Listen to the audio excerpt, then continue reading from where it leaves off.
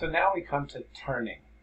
So again, we have some eye point. We have some arbitrary at point out, out here in space. Right? And we have some direction we're looking.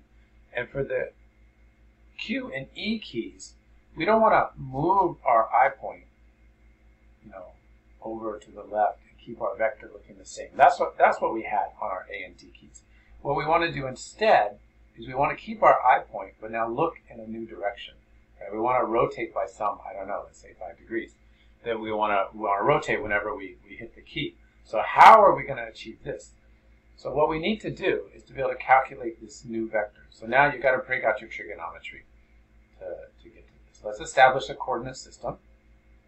Let's put our eye at the beginning of this coordinate system. So I'm going to calculate instead of the real at point, right? Because the real global coordinate system is down in some other position, right? I'm trying to establish a new coordinate system. So I'm going to make a new point called at P,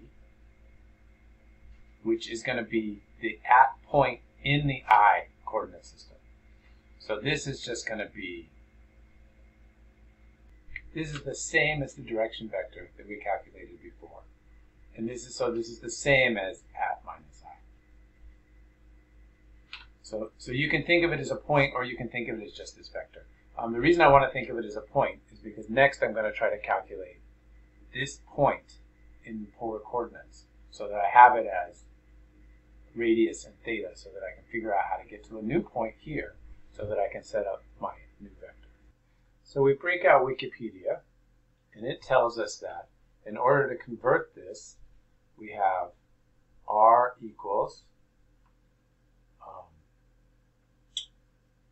direction dot x squared plus direction dot y squared square root and theta equals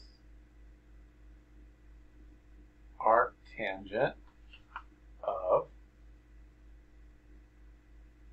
yx, right? Where this where this yx is the direction x, x and y.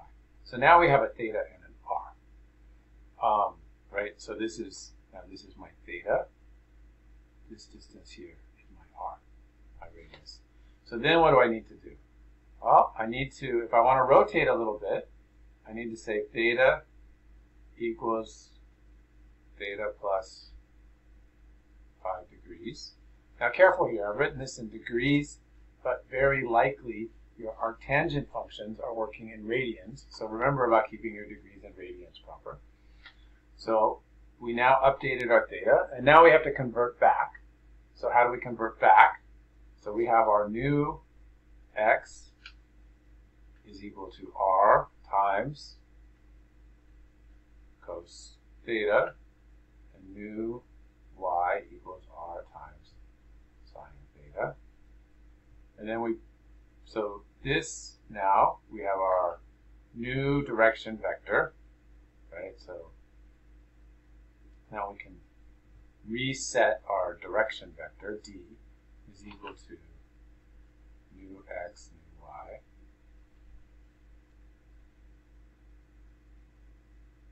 And we now need to update this at point, right? So our final at point, our global at that we're trying to say. But our at is just a direction from the eye.